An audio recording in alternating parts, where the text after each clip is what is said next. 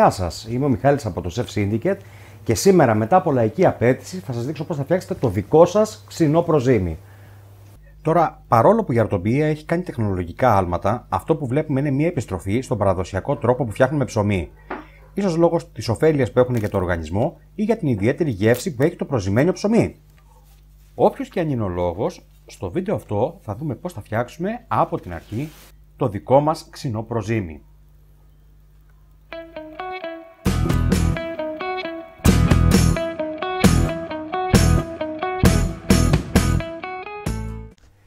Ερώτηση λοιπόν, τι είναι το ξινό προζύμι; Το ξινό προζύμι δεν είναι τίποτε άλλο από έναν διογκωτικό παράγοντα. Είναι δηλαδή το μέσο το οποίο φουσκώνει τη ζύμη μας για να πάρει αυτό το ωραίο σχήμα λαχταριστού ψημένου ψωμιού. Γενικά, οι διογκωτικοί παράγοντες χωρίζονται στους χημικούς, όπως το baking powder και η σόδα, και τους βιολογικούς, όπως η μαγιά και το ξινό προζύμι.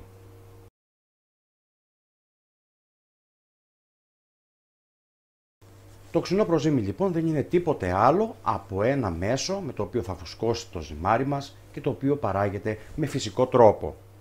Είναι λοιπόν με λίγα λόγια μια καλλιέργεια από μύκητες και βακτήρια οι οποίοι δίνουν όγκο στο ψωμί μας. Όπως σε κάθε μικροβιολογική καλλιέργεια, έτσι και εδώ παίζουν ρόλο τρεις σημαντικοί παράγοντες. Το περιβάλλον, η τροφή και το νερό. Για να τα κάνουμε τα πράγματα λίγο πιο απλά, αυτό το οποίο θα χρειαστούμε είναι ένα καθαρό περιβάλλον μέσα στο οποίο θα μεγαλώσει η καλλιέργειά μας, καλή τροφή, δηλαδή καλό αλεύρι και φυσικά ε, καλό νερό. Για να φτιάξουμε λοιπόν το δικό μας ξινό προζύμι, αυτό το οποίο θα χρειαστούμε είναι ένα καθαρό δοχείο από αδρανές υλικό, είτε από γυαλί είτε από πλαστικό.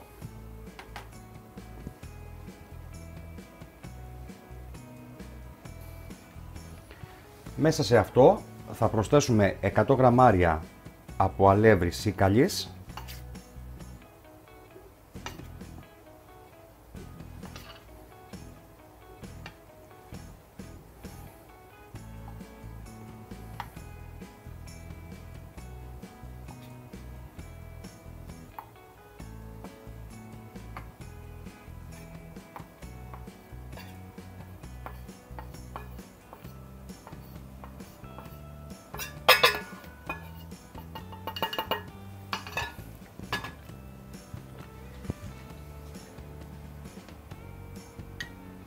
και 100 γραμμάρια νερό.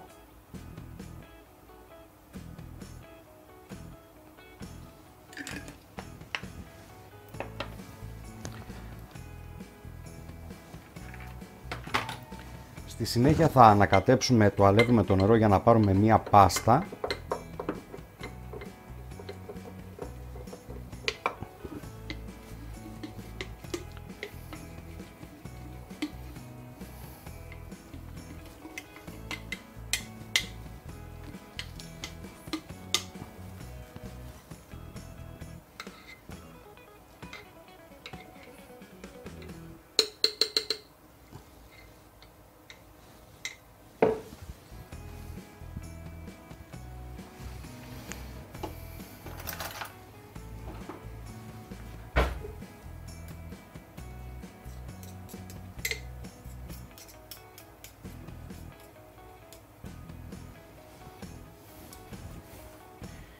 και αφού το ανακατέψουμε με, πάνω στο βάζο θα σημειώσουμε το απόβαρο.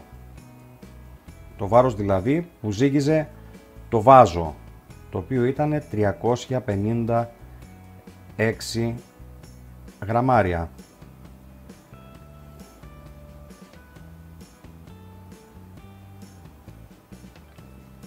Πάνω σε αυτό επίσης θα σημειώσουμε και την ημέρα στην οποία βρισκόμαστε. Σήμερα λοιπόν είναι η πρώτη μέρα. Εάν θέλουμε, εάν θέλουμε βέβαια μπορούμε να σημειώσουμε και τη στάθμη στην οποία βρίσκεται περίπου το προζύμι, ούτως ώστε να βλέπουμε τη διόγκωσή του. Σήμερα λοιπόν είμαστε εδώ. Θα το σκεπάσουμε χαλαρά, δεν θα το σφίξουμε γιατί όπως θα ανεβεί το ζυμάρι, όπως θα ανεβεί το προζύμι, ε, όπως θα ανεβεί το προζύμι με το διοξίδιο του άνθρακα το οποίο θα δημιουργηθεί μπορεί να εκτοξευτεί το καπάκι, το οπότε θα το κλείσουμε χαλαρά τόσο ώστε να παίρνει αέρα. Το αλεύρι από σίκαλη είναι πιο πιθανό να περιέχει τους μικροοργανισμούς που χρειαζόμαστε, καθώς η μόνη επεξεργασία στην οποία υπόκειται είναι το άλεσμα του καρπού για να προκύψει το αλεύρι. Επίσης, έχει όλα τα θεωρητικά συστατικά εκείνα τα οποία χρειάζονται για να πάρουμε ένα καλό υπόστρωμα για την καλλιέργειά μας. Για νερό θα προτιμήσουμε το εμφιαλωμένο και θα αποφύγουμε το νερό του δικτύου, το οποίο συνήθως περιέχει χλώριο. Η θερμοκρασία του νερού θέλουμε να είναι από 29 έως 30 βαθμούς Κελσίου. Αν λοιπόν χρειαστεί, θα ζεστάνουμε λίγο το νερό. Και αφού βάλουμε και το καπάκι θα το βάλουμε σε ένα ζεστό μέρος και σκοτεινό κατά προτίμηση και ιδανικά θα πρέπει να είναι στους 28 με 29 βαθμούς. Αυτό λοιπόν το οποίο θα γίνει τώρα είναι ότι θα αρχίσει η ζύμωση σιγά σιγά να γίνεται και θα αρχίσουν οι μικροοργανισμοί να αναπτύσσονται. Η όλη διαδικασία θα διαρκέσει από 7 έως 10 ημέρες. Αυτό βέβαια εξαρτάται από το πόσο ζεστός είναι ο χώρος μας, ο χώρος στον οποίο θα βάλουμε το υμπροζύμι να ξεκουραστεί και να οριμάσει. Από τις καιρικές συνθήκες παίζουν πολλά πράγματα ρόλο. Ε, αυτό όμως το οποίο θα πρέπει να έχετε στα υπόψη σας, θα το κάνετε για μία φορά στη ζωή σας και θα έχετε για όλη σας τη ζωή μετά το δικό σας ξινό προζύμι. Και το άλλο το οποίο θα πρέπει να έχετε στο μυαλό σας βέβαια είναι ότι η άμεση, ο άμεσος σκόπος τον οποίο θα κάνετε είναι περίπου 5 με 10 λεπτά κάθε μέρα. Όλο το υπόλοιπο διάστημα θα κάνετε απλά υπομονή για να οριμάσει το προζύμι. Τώρα είμαστε στη δεύτερη μέρα.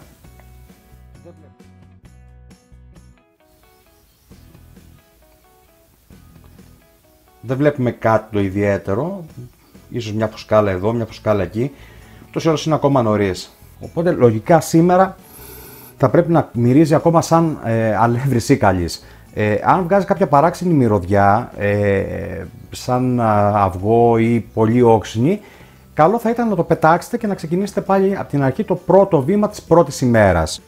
Τώρα αυτό που θα κάνουμε είναι να πετάξουμε το μισό περίπου προζύμι κρατώντας 100 γραμμάρια από το αρχικό.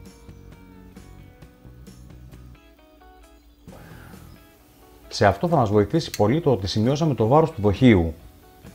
Με τη ζυγαριά λοιπόν θα ζυγίσουμε και θα πρέπει να δούμε το βάρος του δοχείου, τα 356 λοιπόν, γραμμάρια το οποίο ήταν το δοχείο μας, συν 100 γραμμάρια το προζύμι το οποίο θέλουμε να κρατήσουμε. Σύνολο λοιπόν 456 γραμμάρια. Σε αυτό το αρχικό προζύμι θα προσθέσουμε 100 γραμμάρια νερό, το οποίο δεν χρειάζεται να το ζεστάνουμε, αλλά θέλουμε να είναι χλιαρό.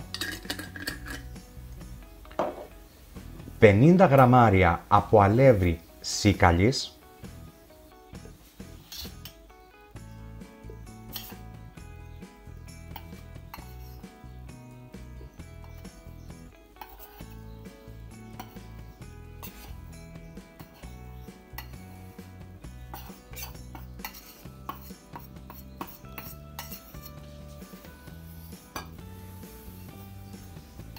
και 50 γραμμάρια αλεύρι σκληρό.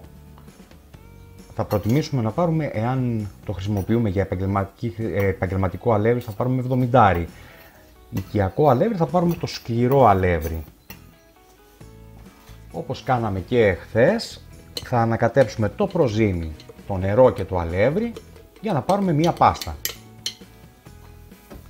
Στη συνέχεια θα κλείσουμε χαλαρά το βάζο και θα το βάλουμε πίσω στο σκοτεινό και ζεστό μέρος το οποίο το είχαμε και θα το φυλάξουμε ως και την επόμενη μέρα. Το δεύτερο αυτό στάδιο θα διαρκέσει από μία έως ε, τρεις ημέρες.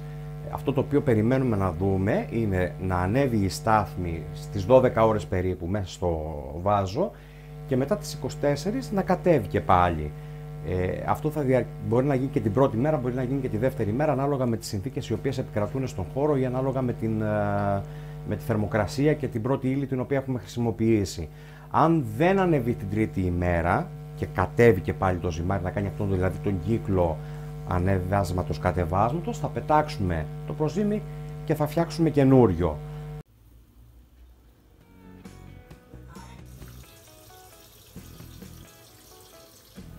Κατά το τρίτο στάδιο που θα διαρκέσει περίπου τρεις ημέρες, αυτό το οποίο θέλουμε να κάνουμε είναι να σταθεροποιήσουμε την καλλιέργεια από τους μύκητες και τα βακτήρια. Για το λόγο λοιπόν αυτό θα κάνουμε την ανανέωση δύο φορές την ημέρα, κάθε 12 ώρες, κρατώντας κάθε φορά 100 γραμμάρια από το προζύμι της προηγούμενης ημέρας και προσθέτοντας 100 γραμμάρια νερού και 100 γραμμάρια από αλεύρι, ανάμεικτο, σίκαλης και σκληρό.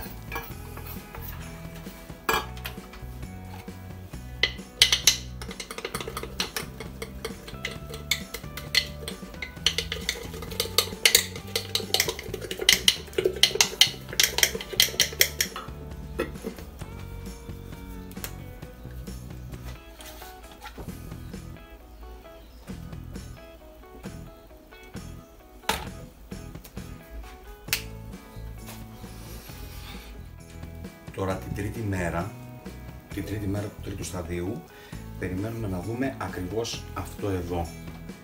Θα δούμε λοιπόν φυσαλίδες σε όλο το σώμα του προζημιού.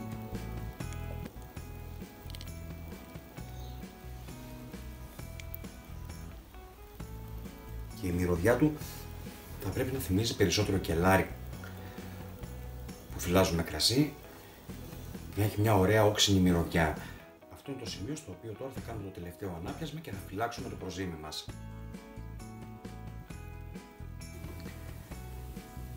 Σε ένα καθαρό πλέον δοχείο, το οποίο θα είναι και το τελικό δοχείο που θα βάλουμε το προζύμι μας, θα βάλουμε 100 γραμμάρια από το αρχικό ξινό προζύμι και θα το ταΐσουμε με 100 γραμμάρια νερό και 100 γραμμάρια ανάμεικτο αλεύρι, 50% αλεύρι σίκαλης και 50% σκληρό αλεύρι του.